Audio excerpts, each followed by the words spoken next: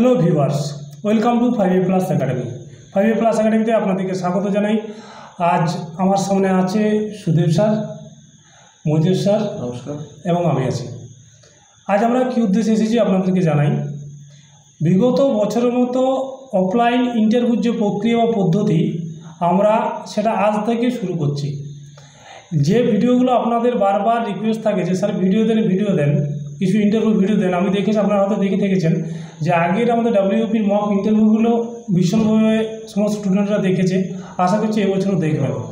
তার আগে একটা কথা বলে রাখি যে পরীক্ষাটা আপনাদের হয়েছিল প্রিলিমিনারি হয়েছিল সেপ্টেম্বর ছাব্বিশ হ্যাঁ। দু হাজার একুশ এবং ম্যান্স যেটা হয়েছে রিসেন্ট মে দু হাজার বাইশ বাইশে মে। মে বাইশ দু হাজার বাইশ আর কাটো। আচ্ছা কাট অফ সংক্রান্ত আমরা একটা ভিডিও পোস্ট করেছি এর আগে সেটা ফোর্টি ওয়ান থেকে ফোর্টি থ্রি হ্যাঁ। তো আশা করছি তার থেকে অনেক নিচে আসবে। আমরা রিভিউ করে যা দেখছি তাতে আশা করে যে অনেক নিচে আসবে। আচ্ছা তো এরপর দু চারটে কথা আপনাদেরকে বলি। আমরা যে মক ইন্টারভিউ নিচ্ছি এটা দেখে আশা করি অনেকেরই কাজে লাগবে অনেকেই আবার অনেক রকম কমেন্টও করেন। ঠিক আছে যাদের খারাপ লাগে অবশ্যই কমেন্ট করবেন কোনো অসুবিধা নেই কিন্তু যাদের ভালো লাগে তারা কিন্তু অবশ্যই করবেন। আমরা কিন্তু এতে অনুপ্রাণিত হব লাইক করবেন। এটা বিশেষ ঘটনা বলি যে এই ইন্টারভিউ শেষে কিন্তু ক্যান্ডিডেটস অরিজিনালি কত মার্কস পেয়েছে ওই অ্যান্সারকে মেলানোর পর সেটা আমরা ঘোষণা করব। তার সাথে ওর পজিটিভ দিক নেগেটিভ দিক সমস্ত কিছু আমরা বিচার বিশ্লেষণ করব এবং অ্যাটলিস্ট শেষে আমরা কত মার্কস পেতে পারি সেটাও আপনাদেরকে কিন্তু জানাব। তো আমাদের প্রচেষ্টা আর আপনাদের সহযোগিতা। সহযোগিতা। চলুক ফাইভ প্লাস একাডেমি আর আজকে যেটা আমরা লঞ্চ করলাম এটা ফিজিক্যাল একাডেমির হ্যাঁ। সে কথাটা বলে দিই আমরা ফিজিক্যাল একাডেমিটা লঞ্চ করছি। বাঁকুড়াতে আপনারা যোগাযোগ করতে পারেন তার ভিডিও দেওয়া আছে আপনারা দেখতে পারেন। তো শুরু করছি আমাদের আজকের ইন্টারভিউ দীর্ঘায়িত আর করছি না। আপনারা দেখতে থাকুন। নেক্সট আমি কি ভেতরে আসতে পারি? হ্যাঁ আসুন আসুন আসুন। আসুন good night sir good night sir good night down thank you তো আপনি কোথা থেকে আসছেন? আমি স্যার বাঁকুড়া জেলার অন্তর্গত খাতড়া থানার সিন্দুরপেটি গ্রাম থেকে আসছি। নিজের সম্পর্কে একটু বলুন। আমার নাম সৌরভ পাইন। আমার বাবার নাম শ্রীযুক্ত করুণা সিন্ধু পাইন। আমি বাঁকুড়া জেলার খাতড়া থানার সিন্দুরপেটি গ্রামের বাসিন্দা। আমার দু হাজার চোদ্দ সালে মাধ্যমিক কমপ্লিট হয়। আচ্ছা। দু হাজার ষোলো সালে উচ্চ মাধ্যমিক এবং দু হাজার উনিশ সালে আমি বাংলা বিষয়ে স্নাতক পাস করি। বাংলা বিষয়ে স্নাতক পাস করেছেন? হ্যাঁ। তারপরে ডাব্লিউপি আসছেন। কেন অন্য জব তো ছিল আপনার যে অনেক জব ছিল গ্রাজুয়েশন লেভেলের এটা কেন? স্যার এই বর্তমান পরিস্থিতির কথা বা এই যে এসএসসির এতদিন হয়নি এই সমস্ত চিন্তা মাথায় তার জন্য আজকে এই পরীক্ষা দিতে আমি এসেছি। তাছাড়া ডাব্লিউপি আপনার ভালো লাগে না?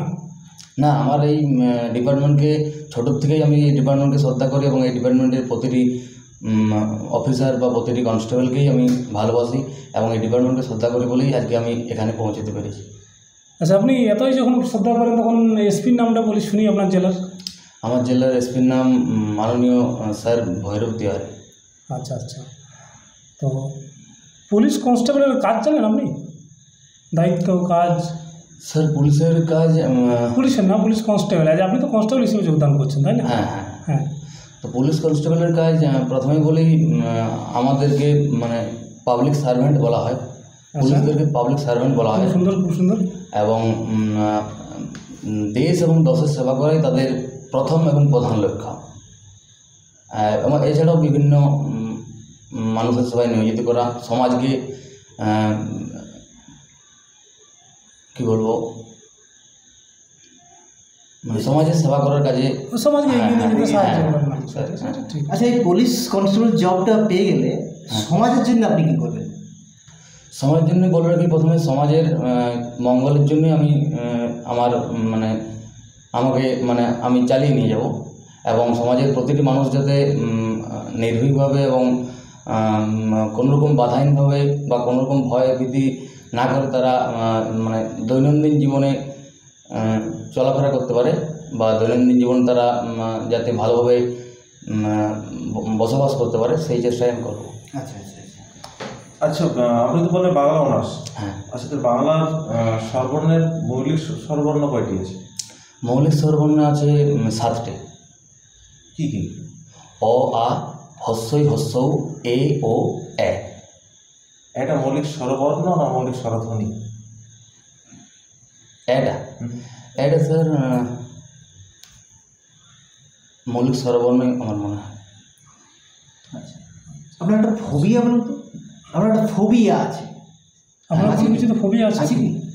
যদি থাকে একটু বলুন। আমার হবে স্যার আমি একটু নার্ভাসনেস ফিল করি। আর কখন? কি কারণে?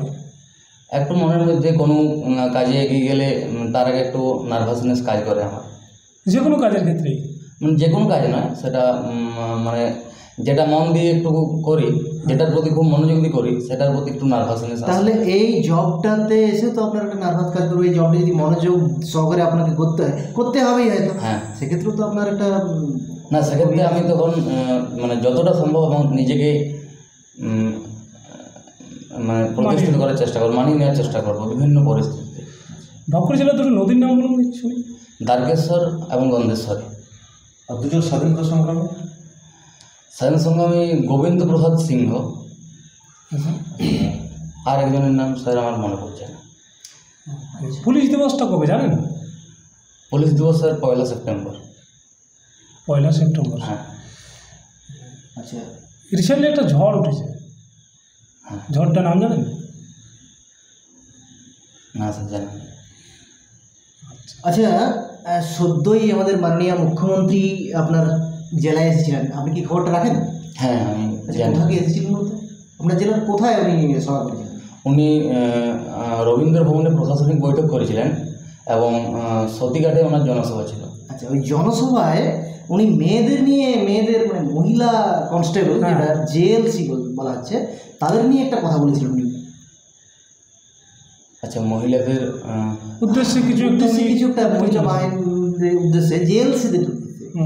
জেএলসি মানে হচ্ছে এলসি যেটা আর কি জেএলসি constable? এলসি আর কি জেএলসি এলসি দুটোই লেডি কনস্টেবলদের নিয়ে একটা কথা বলেছিলেন আচ্ছা ওই দু হাজার নতুন ভ্যাকেন্সি মহিলা কনস্টেবল বেরোবে ওটা কি ওটা কিসের ভ্যাকেন্সি বা নাম দেওয়া হয়েছে কি? নাম ওই জানেন পোস্টার না স্যার জানেন। আচ্ছা দুজন আধুনিক সাহিত্যিকের নাম। আধুনিক সাহিত্যিক শক্তি চট্টোপাধ্যায়।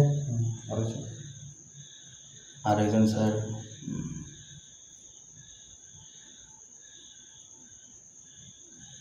আর একজনের নাম মনে পড়ছে না। আচ্ছা আপনার জেলা তো বাঁকুড়া। হ্যাঁ। বললেন ঠিক আছে বাঁকুড়ার একজন স্বাধীনতা সংগ্রামী বলুন তো।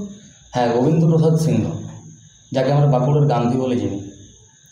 শুনলাম তো ওটা আমরা। আচ্ছা আপনি একজন পুলিশ কনস্টেবল হিসেবে নিজেকে কতটা ঠিকঠাক মনে করেন সঠিক মনে করেন স্যার এই পুলিশে পুলিশের কনস্টেবল পদে চাকরি পাওয়ার জন্য আমি গত দু বছর ধরে পড়াশোনা করছি এবং আমি তার সাথে আমার ফিজিক্যাল ফিটনেসও চালিয়ে যাচ্ছি এবং আমি প্রিলিমিনারি পরীক্ষায় উত্তীর্ণ হওয়ার পর আমি আমার আমি ফিজিক্যাল দিক থেকে উত্তীর্ণ হই এবং আমি মেন পরীক্ষা দিই। আমি আশা করি মেন পরীক্ষায় উত্তীর্ণ হয়ে আমি ইন্টারভিউতে উত্তীর্ণ হয়ে আমি শেষ পর্যন্ত পৌঁছাতে পারব। এবং আমি নিজেকে আমার মানসিক দিক থেকে শারীরিক দিক থেকে একজন পুলিশ কনস্টেবল হিসেবে সঠিক মত মানে সঠিক বেছে নিতে পারি নিজেকে। আচ্ছা আপনার জীবনে কোনো সমাজ সেবামূলক কাজ করেছেন? আপনি স্যার- ডাব্লিউপিতে আসছেন মানে কি? জনগণের জন্য আসছেন? হ্যাঁ অবশ্যই। তো কিছু তো করেছেন। হ্যাঁ আমি এমনিতে গ্রামে আমি সমস্ত সবার জন্য সবার জন্যই যখন যে বিপদে পড়ে তার পাশেই থাকে। মানে যতটুকু যতটুকু আমার আমি নিজের সাধ্য মতো যতটুকু করতে পারি ততটুকু আমি এগিয়ে যাই। ঠিক আছে স্যার ঠিক আছে আপনি আসতে পারেন ধন্যবাদ স্যার।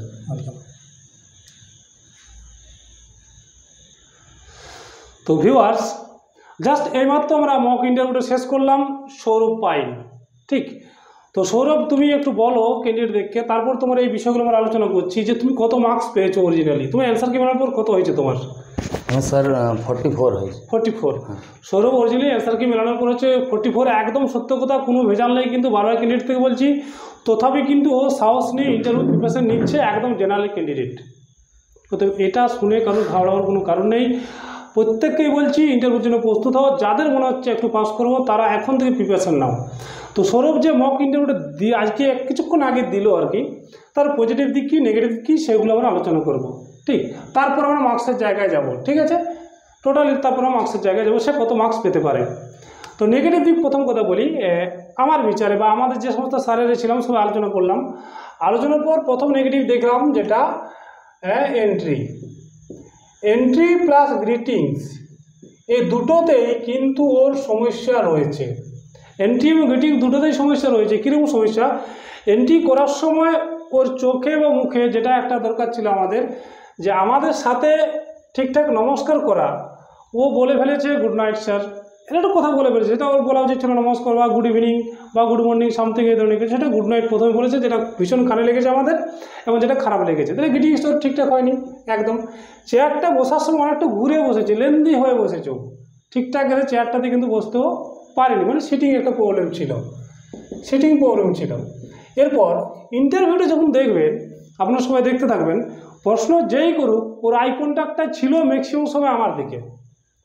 অন্য সব প্রশ্ন করছেন, ওর আই কন্ট্যাক্ট কিন্তু অন্য দিকে। তাহলে প্রবলেমটা কোথায় আছে একটা আই কন্ট্যাক্টে প্রবলেম আছে। মানে আই তারা ঠিকঠাক কন্ট্যাক্টও করছিল না। ক্লিয়ার আরেকটা শব্দ আপনারা দেখে থাকবেন যে অ্যান্সার দেওয়ার সময় ও জড়িয়ে পড়ছিল, তোতলাচ্ছিল। তোতলামি। তোতলামিটা ভীষণভাবে ছিল বা মাঝে মাঝে অ্যা অ্যা একটা আওয়াজ আসছিল। দেখবেন একটা পুরো বাক্য বলার সময় মাঝে মাঝে অ্যা অ্যা একটা সহজ আসছে শব্দ আসছিল ওর। এই একটা আওয়াজ আসছিল যেটা আমার খুব কানে লেগেছে। মানে একটা সম্পূর্ণ বাক্য বলার সময় এটা হতে পারে নার্ভাসনেস এটা হতে পারে নার্ভাসনেস টেনশন ফিল করছিল, প্রথম দিন মক ইন্টারভিউ দিচ্ছ, হতে পারে তোমার। কিন্তু এই প্রবলেমগুলো তোমার হচ্ছিল। তাছাড়াও বেশ কিছু কোয়েশ্চেন তুমি পারোনি। বেশ কিছু কোয়েশ্চেন না পারাটা তোমার প্রবলেম নয়। প্রবলেমটা হচ্ছে তোমার যেটা সাহিত্যের ইতিহাস ছিল, বাংলা অনার্স ছিল তোমার। যে জায়গাটা তোমার সাবজেক্ট নর্মাল দুটো সাহিত্যিক নাম জিজ্ঞাসা করা হয়েছিল সেই ধরনের প্রশ্ন না পড়লে কিন্তু সেটা একটু বিবেচনাধীন। হয়ে দাঁড়ায়। এই জায়গাটা তোমাকে ক্লিয়ার থাকতে হবে, ঠিক আছে? তাই আমি এখনও পর্যন্ত এতগুলো নেগেটিভ পয়েন্ট ওর পেয়েছি। ক্লিয়ার এরপর বলি ওর পজিটিভ দিক কী ছিল? হ্যাঁ পজিটিভ দিক কী ছিল?